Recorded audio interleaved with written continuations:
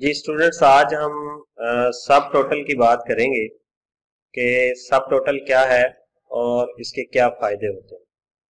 देखें जी, यहाँ पे हमारे पास जो है, वो एक शीट बनी हुई है सैलरी की।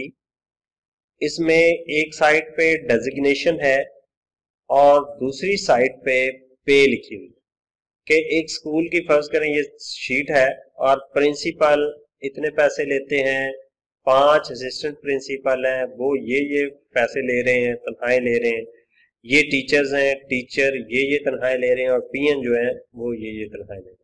तो अब हम इनका जो है, वो सब टोटल करना चाह रहे हैं कि हम ये देखना चाह रहे हैं कि प्रिंसिपल टोटल कितनी तनख्वाहें ले रहा है असिस्टेंट प्रिंसिपल मिला के कितनी ले रहे हैं टीचर्स मिला के कितनी तनख्वाहें ले रहे हैं पीएन मिला के कितनी तनख्वाहें ले रहे हैं तो इसको हम बोलेंगे सब टोटल क्या बोलेंगे? सब टोटल अब ये होगा कैसे?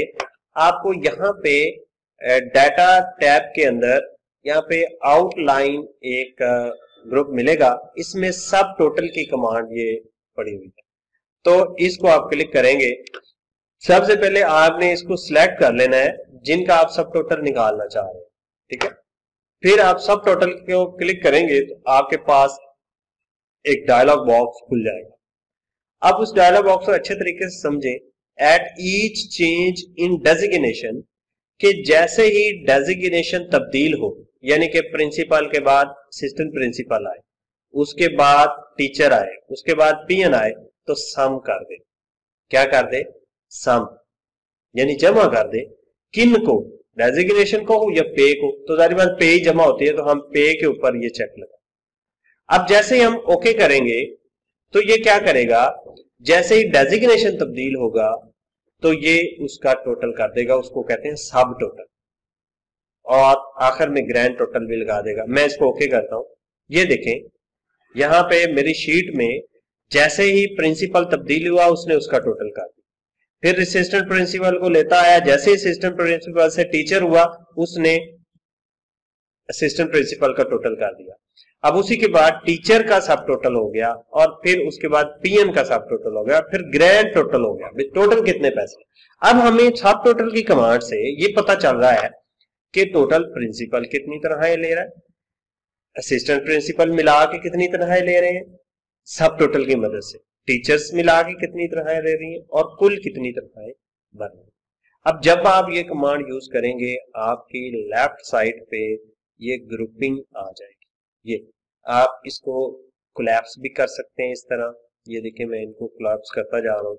सिर्फ़ सब टोटल नज़र आ रहे ठीक है? वो चीज़ें जो है, वो हाइड होती जा रही अब सिर्फ़ सब टोटल्स हैं और अगर किसी को एक्सपेंड करना है तो आप यहाँ पे क्लिक करेंगे तो वो एक्सपेंड होते हैं। तो सब टोटल को एक दफ़ा गौर से देख लें कि जब आपने सब टोटल करना है तो आपने सबसे पहले इसको सिलेक्ट करना है, ठीक है? उसके बाद सब टोटल पे आपने क्लिक करना है।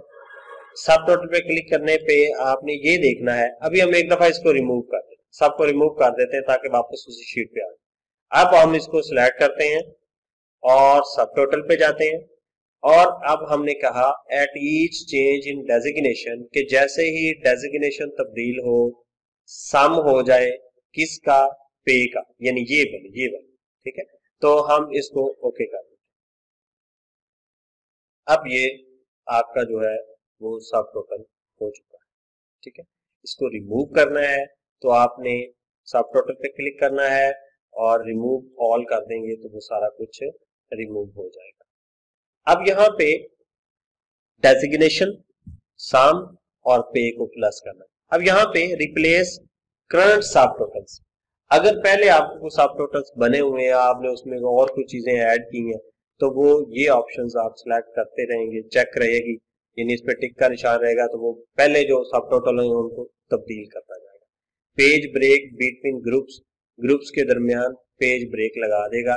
यानी ये जो, जब आप प्रिंट करेंगे तो प्रिंसिपल एक पेज पे, ये दूसरे पेज पे, ये तीसरे पेज पे, ये देखें यहाँ पे, हम आप ओके करते हैं? ये देखें, अब उसने पेज ब्रेक भी लगा ये एक पेज पे, ये दूसरे पेज पे, तीसरे, चौथे और इस तरह के। ठीक है? तो ये थी साफ़ टोटल की पेज ब्रेक ऑप्शन अब समरी बिलो डाटा समरी जो है वो उसका खुलासा देगा नीचे, यहाँ पे ये भी ग्रैंड टोटल इसका कितना अगर आप ये नहीं करते तो फिर आप इसको जो है, वो समरी बिलो डाटे का जो ऑप्शन है, उसको जो है, वो खत्म कर दें।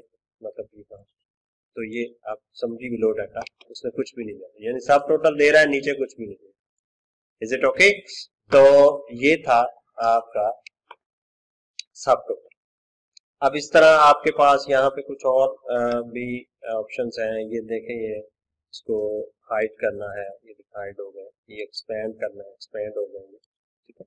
यहाँ से भी ये ऑप्शन यूज़